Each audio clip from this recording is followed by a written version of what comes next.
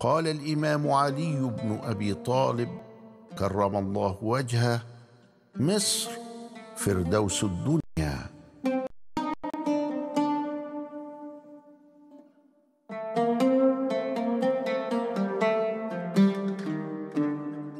فاللهم يا ربنا اجعلها فردوس الدنيا.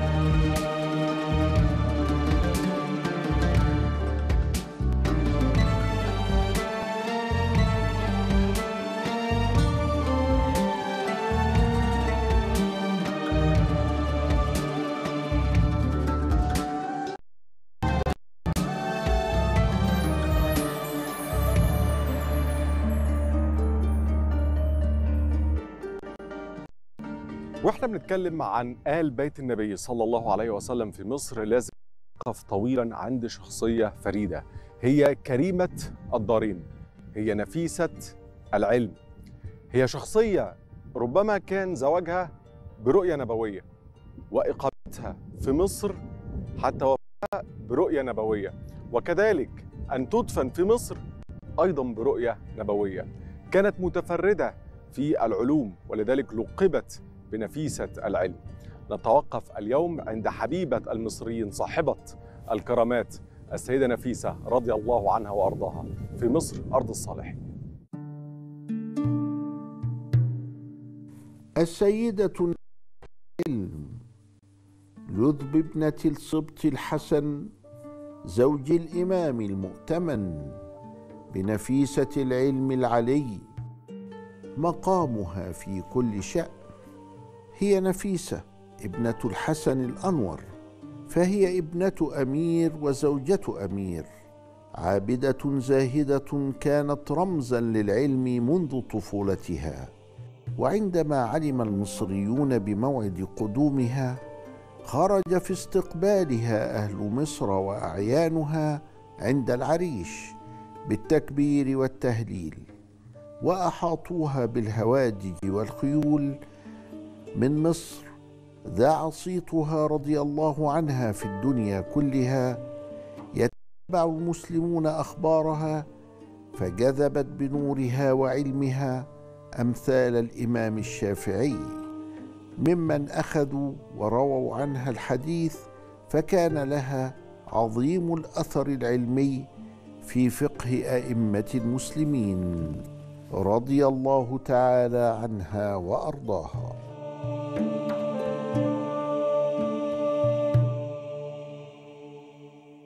أهلا وسهلا بحضراتكم وما أجمل الحديث اليوم حول كريمة الدارين نفيسة العلم السيدة نفيسة رضي الله عنها وأرضاها. اسمحوا لي أرحب بفضيلة العالم الجليل الأستاذ الدكتور علي جمعة. السلام عليكم مولانا. وعليكم السلام ورحمة الله وبركاته أهلا وسهلا بحضرتك. السيده نفيسة لها في قلوب الملايين الكثير من الحب والعشق. يعني مين منا ما راحش السيده نفيسة وصلى ودعا عند السيدة نفيسة. فأرجو من حضرتك اولا يعني هل هناك تفسير لهذا الحب والانجذاب الشديد إلى السيدة نفيسة رضي الله عنها وأرضاها بالتحديد؟ بسم الله الرحمن الرحيم الحمد لله والصلاة والسلام على سيدنا رسول الله وآله وصحبه ومن والاه. السيدة نفيسة هي بنت الحسن الأنور. ابن زيد الأبلج ابن الحسن آه ابن سيدنا علي والسيدة فاطمة. يبقى إذا هي سليلة بيت النبوة. نفيسة وسميت بذلك من النفاسة. ولدت سنة 145 يعني أكبر من الشافعي بخمس سنين. هو ذات الاسم نفيسة كما كما آه، هو. سماها آه، من حسن الأنور شيء نفيس يعني شيء نادر شيء غالي شيء عزيز آه، مش موجود منه اتنين سبحان يعني الله. حاجة نفيسة. مم. فالسيده نفيسة رضي الله تعالى عنها ولدت من وأبوها كان أمير الم- اللي هو الحسن الأنور. لما نمشي مع الحسن الأنور ده نجد إنه سيدنا الحسن الأنور ابن زيد الأبلج وزيد الأبلج ابن الحسن. الكبير اللي هو معه الحسن والحسين الحسن. نعم الحسن الأنور خلف نفيسه وخلف كمان واحد موجود برضه في مصر اسمه يحيى مم. ويحيى المتوج ده هو أخو السيدة نفيسة. كانوا يسموه المتوج لأنه كان وشه كله نور كده. ده موجود في مصر يا مولانا موجود في مصر والراجح إنه عند سيدي الليث بن سعد بعد الشافعي. يعني في المنطقة اللي بعد الشافعي فيه آه، آه، يحيى المتوج بالأنوار. ده مصر مليانة من آل البيت والصالحين للخيرات الكتير يعني. نعم. سبحان الله. السيدة نفيسة كانت تحب العبادة منذ صغرها فنشأت ولازمت المسجد النبوي الشريف. الله. ادي ده حتة من الإجابة على السؤال بتاعك. هو اشمعنى السيدة نفيسة؟ لأنها كانت نموذجا لما حدث في القرن الثاني الهجري من المثال الصالح الذي قدمه المسلمون للعالمين. فساعات نختار واحد يبقى يعني فيه الصفات كلها دي فهو السيدة نفيسة تزوجت إسحاق. ابن مين إسحاق؟ ابن جعفر الصادق. طب ماشي ابن مين جعفر الصادق؟ ابن محمد الباقر. مين أبو محمد الباقر علي زين العابدين. ابن الحسين. يبقى إذا النفيسة التي هي من نسل الحسن تزوجت إسحاق الذي هو من نسل الحسين. وسموه إسحاق المؤتمن. إسحاق المؤتمن. لما أيام وراحت الأيام والحسن الأنور خلص التكاليف بتاعه للمدينة وسافر تولى إمارة المدينة بعده إسحاق. إسحاق المؤتمن المؤتمن يبقى هي مرات أمير وبنت أمير. صحيح. طب يقال يا مولانا أن زواجها من المؤتمن جاء برؤية نبوية. والله هي كانت امرأة عابدة متعلقة شفافة. فكان يأتيها سيدنا رسول الله عليه كثيرا. وده هيؤثر في بقائها في مصر. كمان. نعم. مم. لأنها بقيت في مصر من رؤية. من رؤية نبوية. من رؤية نبوية. الله.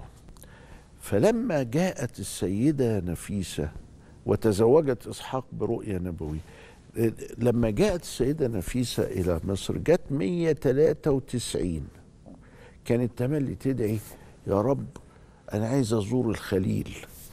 فراح الخليل هي وجوزها وراحوا معرجين على مصر 193 فاضل على القرن سبع سنين. وهي ماتت 208 فيبقى قعدت في مصر حوالي 15 سنة.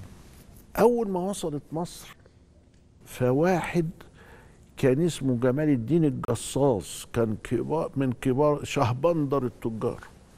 سمع إن السيدة نفيسة جت والصيت بتاعها سابقها من ال... فنزلها في الدار بتاعته. دار وسيعه كويسة كده اهو. يعني إيه؟ استضافهم في ال- آه، في استضافهم البيت. فيلا بالجنينه بتاعتها بمنافعها. حلو قوي ونزلت السيدة نفيسة في هذا ال- ال- المكان. وبعدين حصلت حاجة آه، غريبة أولا الناس عرفوا فيها استجابة الدعاء. وإنها ست متواضعة قوي و- و- و- وحبوبة. واخد بالك؟ آه. فجم و- آه، واحدة جارتها كانت مرات أبو السرايا كان واحد اسمه أبو السرايا أيوب بن صابر. يعني حتى الاسم فيه إيه؟ في صبر. صبر آه. كبير اهو بتاع في مشقة حاصلة في الحياة في آه، أيوب وصبر أبو السرايا أيوب بن صبر فابو السرايا مخلف بنت معوقه مشلولة عندها شلل اطفال ولكنه في نفس الوقت هو زعيم الطائفة اليهودية الباقية في مصر. يتبعه نحو سبعون ألف على الديانة اليهودية. الست جت وبعدين قالت لها ممكن لو سمحتي أخلي البنت عندك لأن أنا نازله السوق. أعمل يعني تسوق. اللي هو يسموه دلوقتي شوبينج هتروح تقضي المقاضي زي ما الخليجيين يقول لك قضت المقاضي. وسيب البنت دي عندك. آه. وهي البنت قاعدة. عندها والبنت. مشلوله مسكين. مم. البنت قاعدة. وطبعا ست سبع سنين البنت دي. والست راحت. لما راحت خلاص يعني البنت عندها شلل ما هياش محتاجة يعني ويعني ما ما ساكنة مش في مكانها. هتخرج تلعب ولا تتوه ما فيش. ما فيش لا لعب ولا بتاع ساكنة في مكانها. فالسيدة نفيسة قامت تصلي ركعتين ما هي عابدة. وتمام الذكر بقى والعبادة والبتاع مع ربنا. فتوضأت فالوضوء انت عارف زمان ما فيش بقى بلاط ولا في بتاع مش عارف إيه فالوضوء سرح على الأرض. البنت قاعدة كده الوضوء المية بتاعت الوضوء جت عند رجليها. جت عند رجليها عملت لها حاجة زي الكهرباء. سبحان الله. فالبنت بتعمل كده رجليها لقيت رجليها بتتحرك. ببركة السيده نفيسه المية بتاعت الوضوء. مم. فقامت تشوف إذا كانت هتقوم ولا لأ قامت. فجربت السيدة دخلت الصلاة خلاص وكانت تستغرب جربت خدت بعضها وجريت. سبحان الله. مستغرقة في أحوالها. فراحت الأم جاية ولقت بنتها. فبتقول لها يا ماما يا ماما يا ماما. قالت لها ماما مين؟ انت مين؟ قالت لها أنا بنتك قالت لها بنتي إزاي يعني بنتي مشلولة جوه في البتاع قالت لها لا ما أنا لعبت في المية بتاعت ال- الوضوء ف و... و... أنا بجي تعالي ورجعت بيها للسيدة نفيسة وبقت الحادثة دي حادثة لها ما وراءها. في الإجابة على السؤال بتاعك. هم الناس بتحبها ليه وهو المت... المترتب لاستجابة الدعاء. وليها تفاصيل. يا ريت والله نسمع التفاصيل لكن أرجو من حضرتك بعد الفاصل لأن أكيد كلنا شوق نسمع التفاصيل آه فيها حبنا. شديد بالسيدة نفيسة رضي الله عنها وأرضاها. رضي الله عنه أستأذن حضرتك وأستأذن حضراتكم بعد الفاصل. خليكم معنا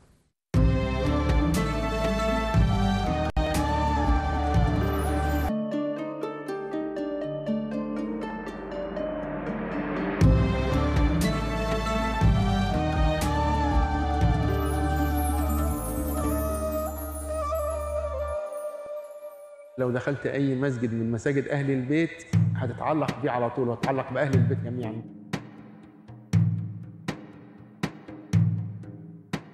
مسجد ومقام نفيسة العلوم بضرب السباع داخل منطقة السيدة نفيسة. ففي العشق الإلهي يجتمع مريدوها. فهنا اجتمعت الأرواح تودع محبيها في صمت يعلوه أصوات الجنازات. إن كل المساجد أساسا كلها بيصلوا فيها الجنازة ولكن مسجد السيدة نفيسة مشهور إنه بصلاة الجنازة.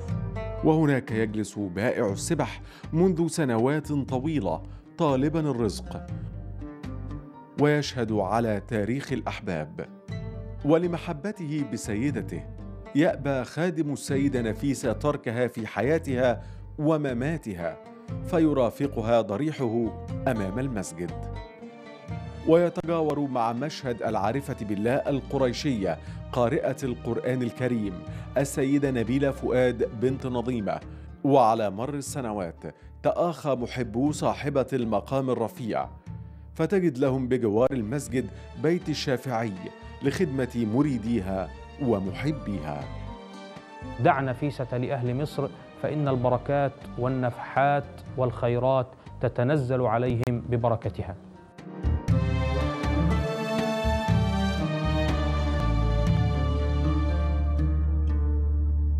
أهلا بحضراتكم مرة أخرى وبرحب بفضل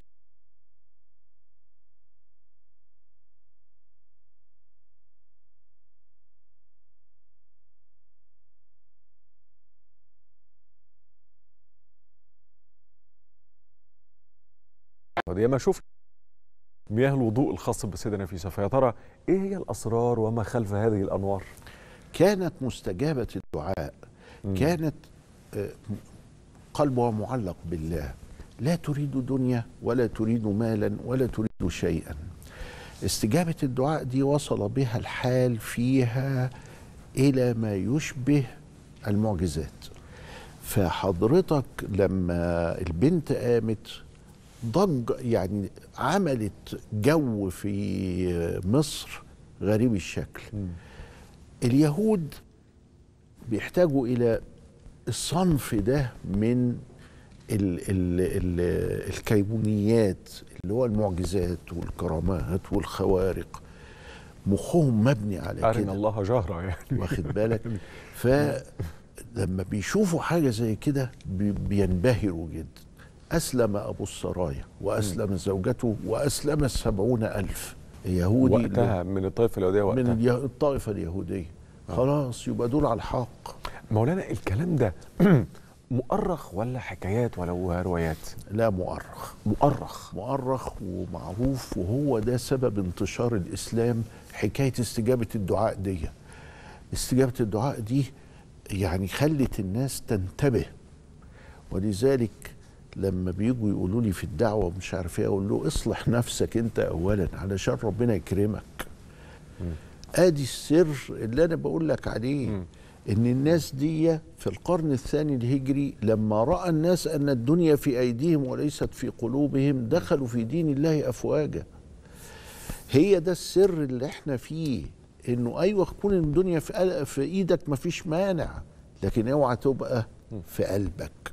أوعى تتعلق بيها فتفعل الحرام من أجل تحصيلها. خليك محترم. وهؤلاء الناس كانوا محترمين. السيدة نفيسة سكنت في ضرب ال- السباع وضرب السباع اللي هو على فكرة اللي هي مدفونة فيه دلوقتي. زي ما قلنا في السيدة سكينة زي ما قلنا في السيدة في نفس آه، السيدة زينب السيدة نفس زينب البيت زي ما قلنا في السيدة السيدة حورية. نفس ال ال البيت اللي كانت ساكنة فيه. حورية لا ما كانش البيت آه. لأنها كانت مريضة. وهي في الطريق يعني. لكن نفيسة نفيسة كانت هنا ساكنة هنا لأنه بعد كده بقى الناس بقوا يجوا لها أفواج أفواج أفواج أفواج ل- لاستجابة الدعاء. وكان التخصص بتاعها العيون. مم. كانت طبيبة عيون. وكانت تستعمل الحاجات اللي هي الكونية والحاجات الروحية. وتدعي آه. وتقول يا رب. عشان كانت نفيسة العلوم؟ لا هم سميت بنفيسة العلوم لأن الشافعي كان ليها معه موقف. الشافعي كانت هي الشافعي دخل مصر 197 يعني بعدها بأربع سنين. كانت هي سبب في مجيء. مجيئه إلى مصر. السبب الثاني أن يسمع من أتباع الليث بن سعد رحمه الله تعالى اللي مات 183 فكانت هي سبب أحد ولذلك كان يزورها كتير. فكانت تحب الإمام الشافعي قوي وكانت ترى فيه عالما. آه، كبيرا وكان هو يرى فيها أنها عالمة وتلقى منها كثيرا. فمن هنا سميت نفيسة العلم. إذا كان الإمام الشافعي المجتهد العظيم ده اللي هو ملأ الأرض آه، علما آه، يعني سمع منها وأخذ منها يبقى هي نفيسة العلم. فالشافعي أيضا كان طبيب ولكن على كل حال كانت أخصائية طب العيون. كان ال- الدنيا بقى ازدحمت عندها فعكرت عليها الناس بقى كتير بالطوارئ كل واحد عنده مشكلة في عينه كل واحد عايز دعاء كل واحد اتزنق في قرشين كل واحد كذا بقت أمم أمام المسجد. فإسحاق اتضايق وخد بعضه وراح المدينة. ولا ما تيجي معايا؟ فقالت له طيب نروح المدينة. فشافت سيدنا رسول الله وهو يقول لها ابقي فإنك تموتين هنا. سبحان الله. آه. ففضلت هنا. الناس لما كسر الازدحام آه، بتاعهم جه آه، ابن عبد الحكم اللي هو كان ماسك مصر ساعتها وجاب لها بيت وسيع وكويس وكذا ونظم لها الجدول. قال لها سبت واربعاء فقط. الناس تجيلك. ومنع الناس. البيت الوسيع معناته إيه؟ يبقى في مضيفه لاستقبال الواردين ويبقى في دخول بالنظام وكذا إلى آخره. سبحان الله. عشان كده بقت كريمة الدارين. أهو كده. الله. فهنا السيدة بقت تستقبل الناس السبت والاربعاء طب وهي ليه بتبخل الخمس أيام التانيين؟ قلبها معلق بالله. شغالة عبادة. مش لاقية نفسها في إنها تتوغل. في طلبات الدنيا دي كلها. دايما في باب مفتوح على الناس وباب مفتوح على الله. على الله. آه ف... فباب الله ده لازم برضه ياخد حقه. صحيح. فكانت تعيش بالشكل ده. مم. سبت والأربع طبعا لا يعدم إن الناس تيجي برضه يوم الأحد والاثنين والثلاث بس شوية قليلين لأنه معروف إنه السيدة نفيسة يعني قافلة آه، فاتحة يوم السبت والأربع. مظبوط. آه. فكانوا الناس يجوا بالبتاع. ولما جت آه، آه، يعني قرب وفاتها بعتت لإسحاق وقالت له على فكرة أنا حاسة إن الأجل قرب وابتدت تحفر قبرها وقرأت فيه 190 ختمة. كانت حافظة القرآن زي المية كده. قرأت فيه آه، آه، 190 ختمة. في قبره. في قبره. و... ويختلفوا بقى. يقول لك لا 140 لا 145 لا 190 روايات. في المكان اللي هو المبارك ده قراءة القرآن والذكر والدعاء والجو ده كله بيملأ الكون خير. ولذلك انت بتقول أنا بروح للسيدة ارتاح السيدة نفيسة ارتاح آه، بدعي آه، بيستجاب آه، كذا لأنها أماكن مباركة لوجود هؤلاء المباركين فيها. صحيح. السيدة نفيسة آه، الحقيقة مقطوع بأنها موجودة في مصر مفيش بقى خلاف ولا حد قال ولا حد مفيش أي. نزاع في, مفيش في حد الأمر يعني وأبوها أيضا حسن الحسن أنور بس ما هواش بنفس الإجماع اللي آه. على السيده نفيسه طب أرجو حضرتك يعني نخصص حلقة بقى لسيدنا حسن الأنور نتشرف بمعرفته أكتر يعني. إن شاء الله. إن شاء ربنا الله سبحانه وتعالى إن إن شاء الله. ينفعنا يا بعلومهم رب اللهم آمين. وينفعنا بوجودهم في مصر. يا رب اللهم آمين. شاكر جدا لفضلتك شكراً. لك. شكرا لحضرتك. شكرا موصول لحضراتكم وإلى اللقاء.